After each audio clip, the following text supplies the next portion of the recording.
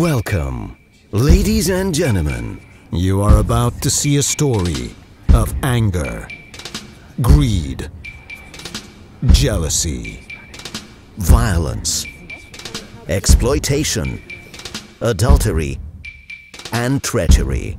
All those things we all hold near and dear to our hearts.